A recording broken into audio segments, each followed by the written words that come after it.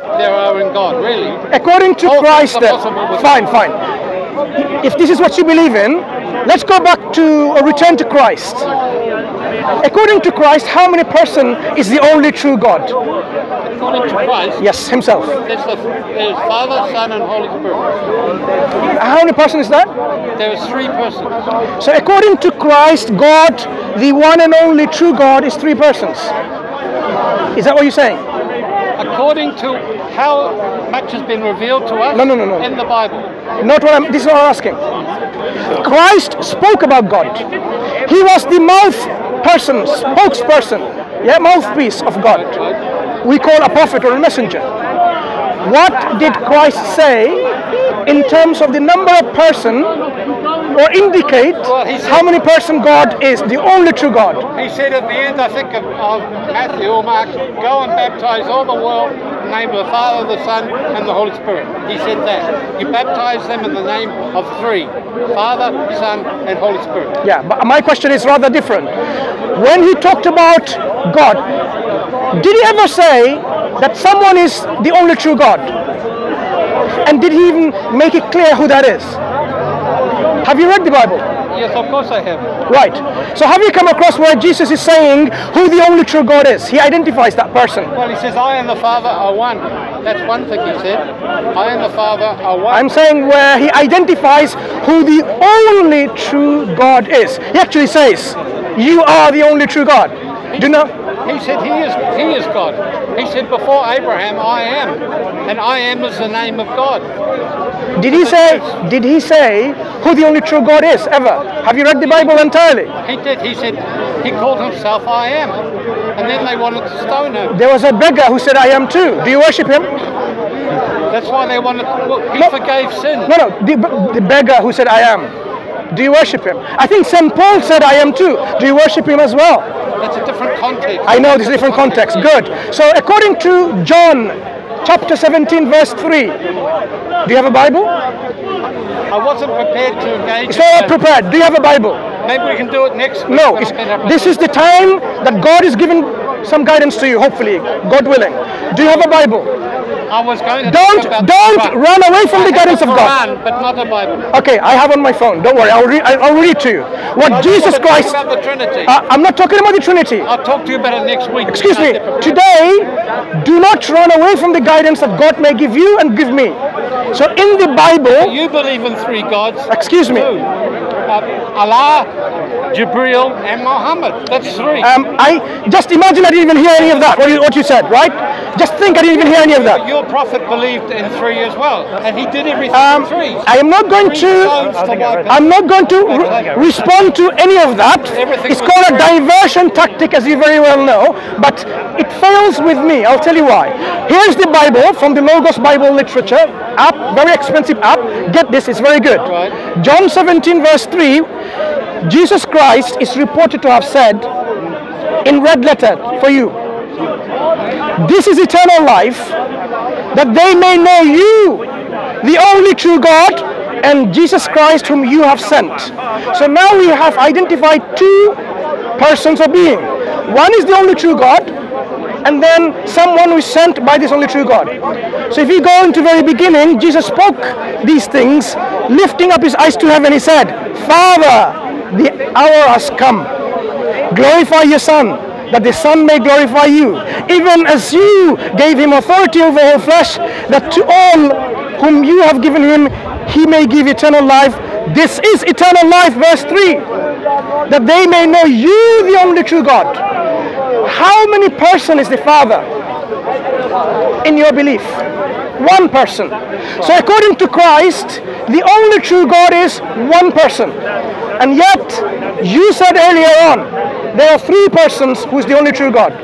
That goes against the teaching of Christ. Would you be willing, excuse me, my friend, would you be willing to take the message and the guidance of Christ or someone else? You like your own desires. Christ is telling you the only true God is one person. Not two person, not three person. One person who calls him the Father. When he asked you to pray and worship, he told you how he says, Oh Father, who art in earth? No. Who art in heaven? Hallowed be thy name. Thy will be done. Thy kingdom come. So who did he, who did Christ say who the only true God is? The one in heaven. Who should you worship? Well, can I ask you a question? Before you ask me a question, I want you to now acknowledge and accept this. If you're really a Bible believing Christian, I'm not going to move even a inch. So you have Jesus Christ telling you who believes in the Bible that the only true God is in heaven, who he identifies as the Father. And he says to Mary Magdalene, I'm going to my God and your God, and to my Father and your Father. That means it's not only his Father, it's your Father too. So this fathership, excuse me. You won't let me uh, explain. I will let you explain, but I want to tell you first whether you admit this. So the fathership is not unique to Christ. God, you can call him, according to Christ, as your father too, Yeah. in your tradition. So, do you now accept that the only true God is the one in heaven and he's the only one worthy of worship and not Christ and not anyone else? I will never accept that. So you don't, so you disagree and you reject the teaching no. of Christ. I think it's just a bit of confusion. You see, God, the Father, He's God in all His glory. No one can look at the Father and live. He's, that's what Jesus means. He is God in His true glory. But Jesus, the second person, he, he emptied himself, emptied himself of his of his full glory and came to earth as a human being. So in that sense, the Father was greater than him. Because Jesus, even though he's God, but he is emptied himself and became a frail man like us, right? So in that sense, God, God, that's what Jesus is talking about. The Father, the Father is this ineffable person, you know, this being who is the sum of all. But Jesus is God, but in human form. And the Spirit ushers from the Father and the Son. He comes and He fills me now, the Spirit, as I'm talking to you. The Holy Spirit fills me as I'm talking to you. And- but you can't see. Please, please understand. Do you see that? Yes. Good. I see I see that you reject blatantly and publicly the teaching of Christ as in the Bible. When he said very clearly, the only true God is the only true God is the Father. And yet you make Jesus as God also. If you are the only true human being on planet Earth, can there be another human being? If I am the only true human being, Can there be another human being on planet Earth? that's not apples and oranges. You can't. Do you know what only means? God. If God is the only God worthy of worship, can there be another God worthy of worship? If God is, is the only God, worthy of worship, can there be another God worthy of worship? no, but there's there's three persons, not Sorry, sorry. gods. Think, think.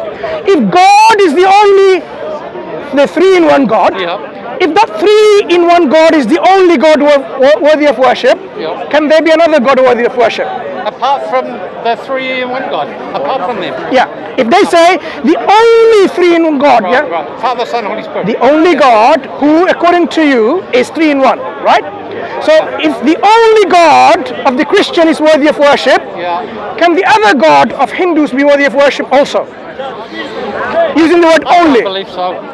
Why? Because you say only. You're excluded by only.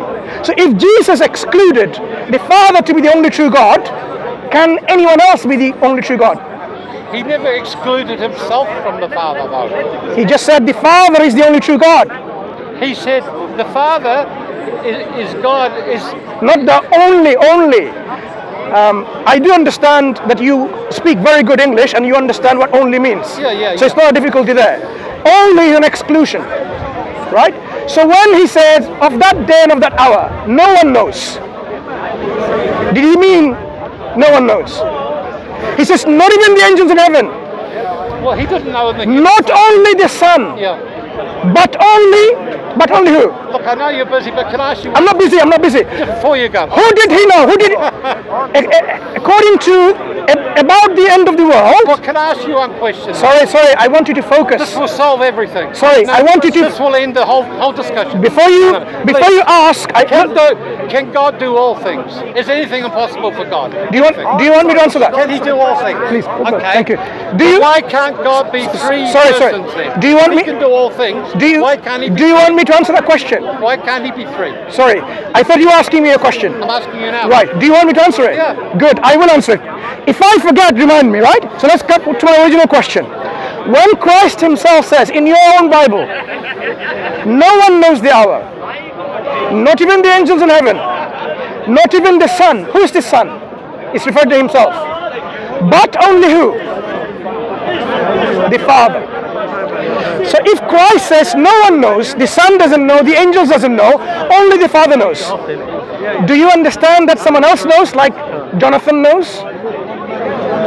Can Jonathan know? What's your name? Mike. Can Mike know? When Jesus says no one knows, including the angels, including Jesus himself, but only the Father, can Mike know also? No, but Jesus didn't know at that stage. Wait. He didn't know. So if, if he said only the Father knows, it means only the Father knows. At, when he said that, Right. at that time. At that time, did the Holy Spirit know? I don't think it mentions the Holy Spirit there, does it? No, it says no one knows. That excludes everything. And then he specifically talks about the angels and himself too. That means the Holy Spirit doesn't know either because it says only the Father knows. So now we establish when he said that, the Father is all knowing, Jesus is not all knowing, the Holy Spirit is all knowing, Mike is not all knowing, the angels are not all knowing. A being who deserves to be worshipped is a being who's perfect in his knowledge. And that being is God. So if the Father is all knowing, he is a good candidate to be God. But Jesus will fall short to be a candidate for even to be called God because he's not all knowing. Neither would be the Holy Spirit a good candidate for being God. Neither would be the angels or even Mike. So now, from the mouth of Christ, in your own scripture, we establish two black and white categorical texts where he identified who the true God is. And that God is the one who sent him. The one who sent him is Jesus, dependent on him, on his God. Actually, did he even call that being who sent him his God? He did, didn't he? He said to Mary Magdalene, Wait, don't touch me yet. For I am going to my Father and your Father and to my God and your God. So he says he has a God. Imagine God the Father came and says, I'm going to go, go to my God. What would you say? You have a God that you're going to? If Mike, you said, I have a God, would it be really sensible for all these people listening and watching to take you as God Almighty? When you identify yourself of having a God yourself. So when people were there and Jesus was telling his people, I have a God that I'm going to. Do you really think the people were not clever enough to understand that Jesus has a God? And Jesus cannot be worthy of worship because he has a God? Well, why did he accept worship then from people? When did he accept worship? Well, Thomas, Thomas fell down and, and, and said, "My Lord, my God." Sure. How many Lord and how many? Two points. When he talking about Thomas, how many Lord and how many God do you have according to Paul, the author of many of the books in the New Testament?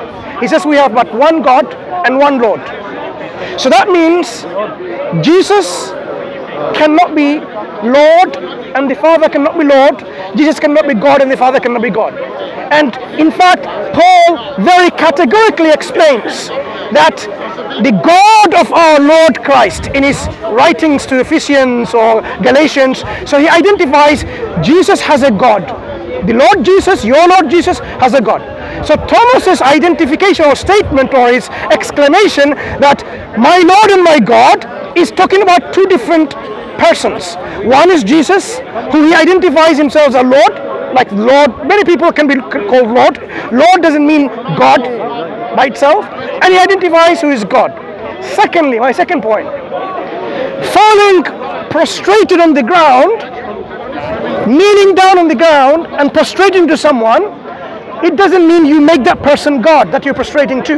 This was a custom in many cultures, in many societies, where they paid homage to kings and monarchs and queens and even they're pious elders, like in certain societies. It doesn't mean they're worshipping. Joseph in the Bible, Joseph, the prophet, his brothers came and they prostrated to him. It doesn't mean they took him as God and they worshipped him. Where does So Jesus say that he wasn't God? He Sorry, sorry, sorry. One moment before you say what he didn't say or what he did say, let's understand the actions of his disciples. So his disciples, when they prostrated to him, it doesn't mean they taught him as God or considered him as God. When he clearly said, you should worship him only. You should worship the Father only.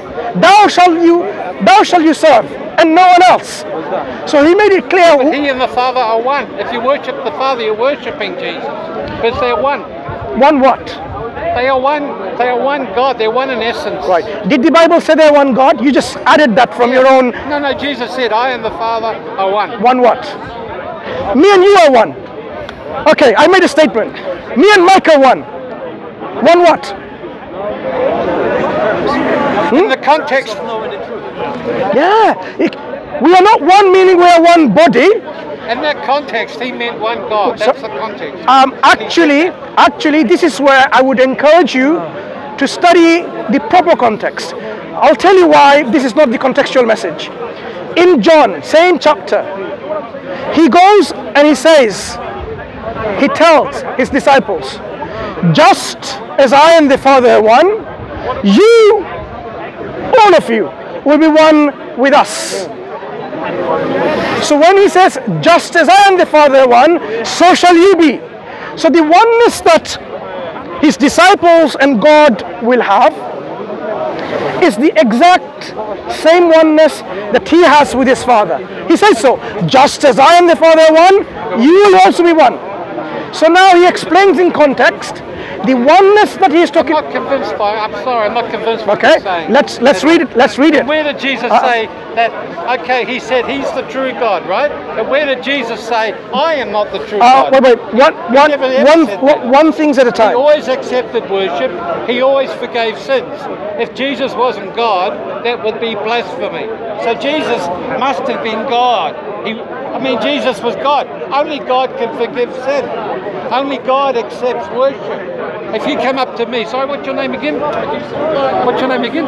Um, why do you say again? Because I haven't even talk, I've told you my name yet. I thought you. No, I didn't. Sam. No, my name is Mansour. Hello, Mansour. Nice to meet you, Mike. Look, I think you're a nice man, and I think you're a nice I- man too. I think you're sincere. And You're very sincere. and I, I personally think Yeah. you are a very nice person, right?